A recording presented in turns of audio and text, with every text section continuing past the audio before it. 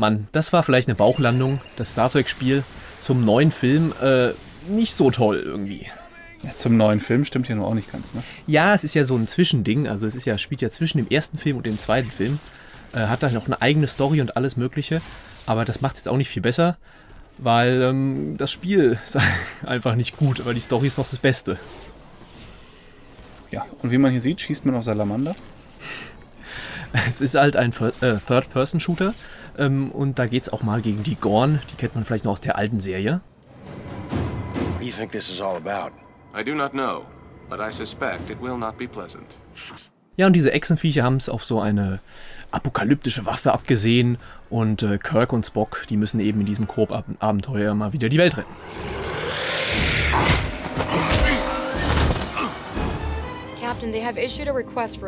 Was das Spiel wirklich auszeichnet, sind die Originalsprecher. Die gibt es nur auf Englisch, nur deutsche Untertitel.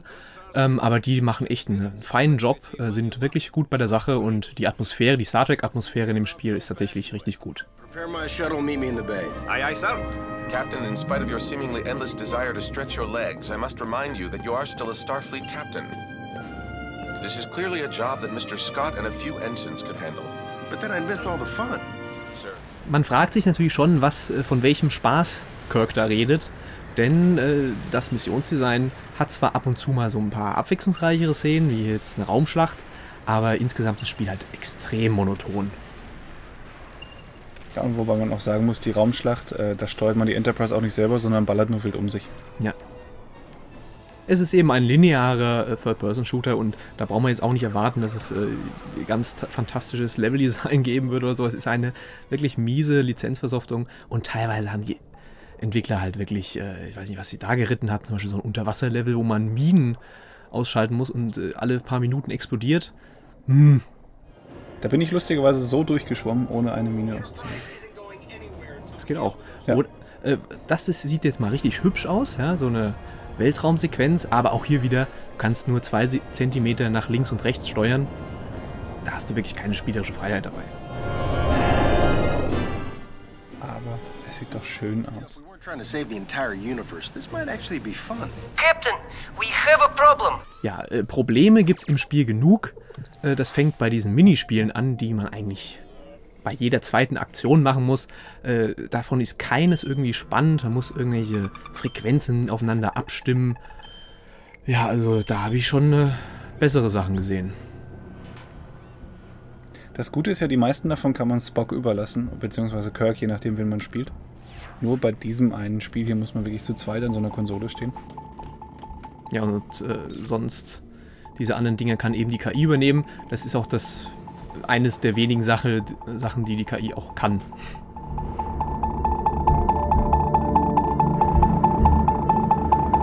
Das hat was von Snake so ein bisschen, ne? ja. Ähm, es gibt ein Upgrade-System, man äh, sammelt Erfahrungspunkte und da kann man neue Fähigkeiten erlernen. Ähm, die sind aber jetzt wirklich nicht unbedingt nötig. Also ich habe sie nicht sehr oft benutzt. Die Tricorder-Dinger sind schon noch ganz nett. Also gerade dieses Granatenhacken, aber ich gebe dir recht, die Waffenfähigkeiten braucht kein Mensch.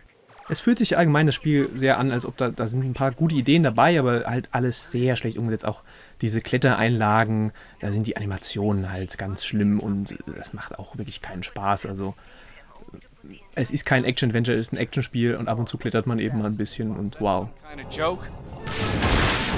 Ja, ein Witz ist auch äh, die KI des Spiels und allgemein die Feuergefechte, ich, die haben mir einfach keinen Spaß gemacht.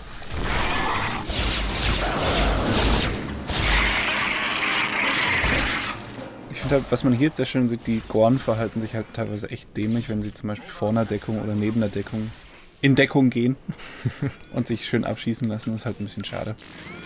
Thanks for the save. Immerhin verhält sich der KI-Partner halt stellenweise äh, intelligent, indem er einen wiederbelebt und so weiter. It's me!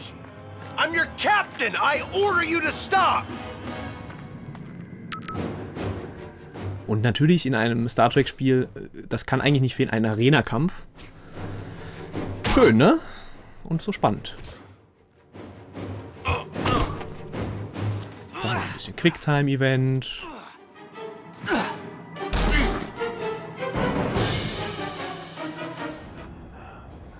Oh, und äh, Glitches gibt's auch. Jede Menge. Clipping-Fehler.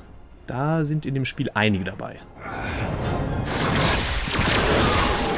Ja, also ich äh, allgemein ist es wirklich so, als ob das Spiel extrem unfertig wirkt, als ob da, weiß nicht, sechs Monate hätten die eigentlich nochmal dran arbeiten können. Äh, leider haben sie es nicht gemacht und herausgekommen ist äh, ein ganz, ganz schwaches Spiel, das mich sehr gelangweilt hat im Test tatsächlich.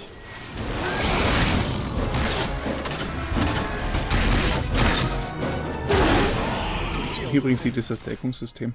Man kann von Deckung zu Deckung huschen. Funktioniert aber auch nicht wirklich gut. What the hell is that? Ja, was zur Hölle dieses Spiel ist, das habe ich mich auch öfter gefragt. Es ist ähm, für Star Trek-Fans ganz erträglich aufgrund der Atmosphäre, die wirklich ganz nett ist. Die Story ist okay, aber das allgemeine Gameplay funktioniert einfach nicht und äh, ich fand es extrem monoton. Lieber nicht kaufen, auf jeden Fall nicht zum Vollpreis.